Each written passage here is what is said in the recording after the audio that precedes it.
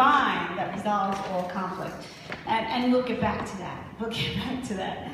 So I, um, I wanted to read something out of the book, The Celestine Prophecy. Now, we know The Celestine Prophecy is a novel. Yes, I just want to put that out there. You know, this is no documentation, this is no fact, but these stories help us, right? The parables help us to understand things. And this is what comes from the book. He says, For half a century now, a new consciousness has been entering the human world. A new awareness that can only be called transcendent, spiritual. If you find yourself reading this book, then perhaps you already sense that it is happening, already feel it inside. It begins with a heightened perception of the way our lives move forward. We notice those chance events that occur in just the right moment and bring forth just the right individuals to suddenly send our lives in a new and important direction. Perhaps more than any other people in any other time, we intuit higher meaning in these mysterious happenings. Now that's this, con this concept of this higher consciousness, which is why we come together as a community, right? Because of believing in a higher consciousness, a higher sense of connection. And he's saying that, you know, for half a century, it's always been. That's why we start out the service with calling in the four directions. All the spiritual traditions talk about the, the powers that be, earth, air, fire, and water, the connection to nature. But it's up to us to pay attention. Everything is energy. Everything is energy. We are energy. That's what all of this is about.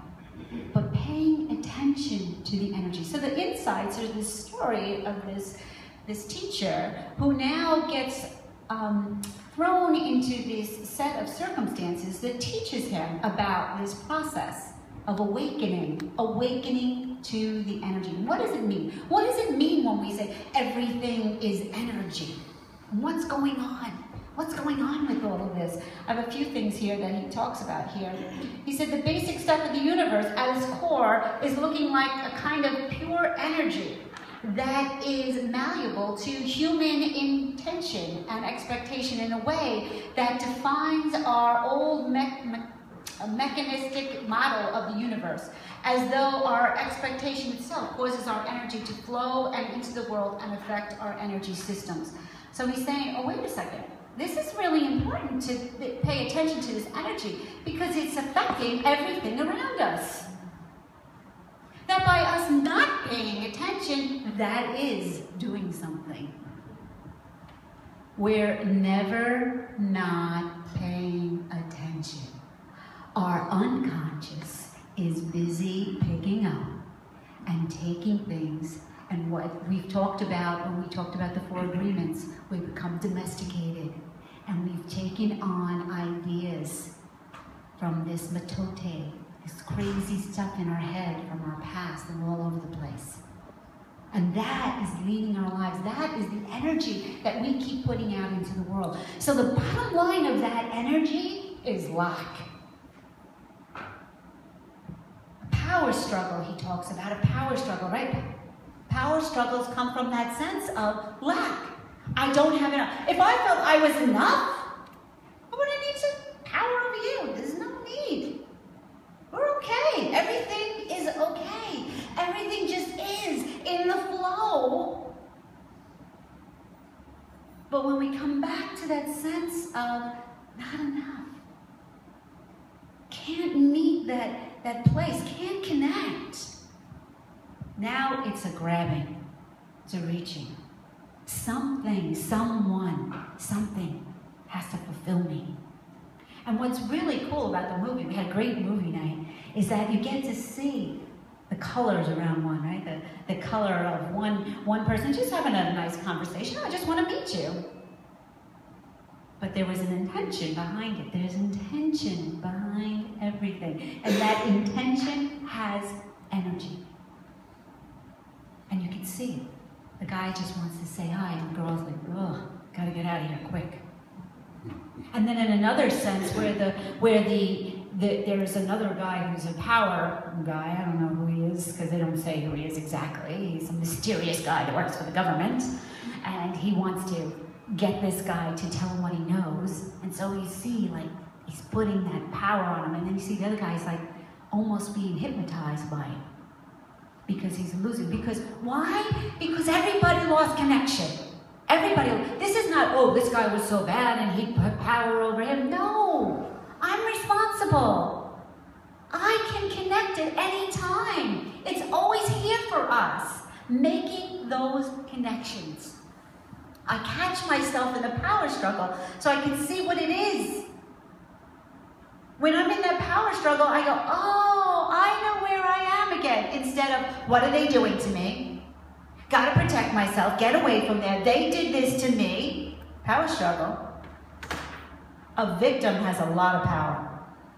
Victim has a lot of power. A power of disconnect, a power of I need, poor me, all of this. And what do we miss? We miss the beauty the of all that is. There's a payoff for this. There's a payoff to be in this. And, and when we recognize it, it's just not worth it. It's just not worth it. And he, they kept saying, you know, you'll get it, you'll get it, you'll get it. As he's going around all the people that have this connection, they'll know it. And they said, they're giving things their attention. I kind of like that phrase. Giving things their attention. See, the altar, this altar has been given much attention. And the flowers, the light, the mint, all of it, the water, all of it is giving attention back. See, nature is always giving. Earth is always giving. And we cut ourselves off from that when we can be sustained by that, filled by that. So, when we can tune in our perceptions, I have a couple of other quotes here that I want to read to you. The human perception of this energy first begins with a heightened sensitivity to beauty. And that's what they had him do in the movie. The first thing you need to do, first recognize these coincidences. Life is pushing you in certain directions. Pay attention to it. Oh, that person called. I was just thinking of that. Hello? Yeah, those things that happen. And then he said, pay, pay attention. Give your attention. Give your attention. Look, and beautiful things help us. It's a little easier for us, right? So he says, the things that we perceive as beautiful may be different, but the actual characteristics as ascribed to beautiful objects are similar. Think about it. When something strikes us as beautiful, it displays more presence and sharpness of shape and vividness of hmm. color. Doesn't it? It stands out, it shines, it seems almost iridescent compared to the dullness of other objects of less attraction. Right? So that's when we look at this and we really look at it. And he says, the really looking at it, was funny thing about really looking at something, it doesn't, it means you defocus your eyes. Defocus your eyes. You know, our eyes are so deceiving. But we, we saw things, we know it. There was an experiment done, and this experiment was about having people wear glasses that made them see the world upside down. Okay? For three days they had to wear these glasses. Now, after, after wearing the world, the, the world looked normal to them, upside down, after three days. When they took the glasses off, they still saw the world upside down for three more days. Now, that's not unusual because our eyes see upside, when things come into our eyes, they come in upside down. That's the way they work. And our brain turns it around. Things are not as they seem. It's not so solid, it's energy. And if we can pay attention, so when I want to pay attention and see the real beauty in this, I soften my eyes. And then it gets more vivid. It gets clearer. Because I get to see the energy of it. Now, some people do it more with, with, with sight, with colors. Some people do it more with feeling. Some people, all of a sudden, when I'm paying attention to it, all of a sudden the smells will come out. Right? So it's so it's a little bit different for everybody, but it'll be a heightened sensitivity to it. And if you can do that and practice that, it's funny, our pocket full of miracles today talked about getting a plant, and thank you to Ruth for bringing in a plant for us, and going and sitting with that plant and having that awareness and that energy exchange with that. So now, this is just the everyday stuff of this. But what we have to do is we have to take this now to that bigger, that bigger place. In our, um, our, the fourth insight talks about, it talks about the uh, human interactions. But I just want to do the third insight before I do that. We now experience that we live not in a material universe, but in a universe of dynamic energy. Everything in existence is a field of sacred energy that we can sense and intuit. Moreover, we humans can project our energy by focusing our attention in the desired direction. In that, where attention goes, energy flows, influencing other energy systems and increasing the pace of coincidences in our lives. In other words, the more I'm paying attention, that if we just did that exercise of having an energy exchange with a plant in our lives, we're going to notice other things in our lives. We're going to notice the right turn to take. We're going to notice the things to do. And something is going to happen that is going to continue to move us along in our highest direction possible. Energy always wants to keep flowing, keep moving, keep moving. It is within us to evolve, to keep moving forward. Evolution, it just wants to keep moving forward. And all we have to do is to get in that flow. Something will always happen. Going back to the peaceful warrior, there is never nothing going on. There's no ordinary moments. It all ties together. All of it. In our lives, it is all happening. It is here for us. So, when we dislike someone or feel threatened by someone, the natural tendency is to focus on something we dislike about the person, something that irritates us. Unfortunately, when we do this, instead of seeing the deeper beauty of that person and giving them energy, we take energy away and actually harm them and harm ourselves. So seeing the beauty now changes everything, right?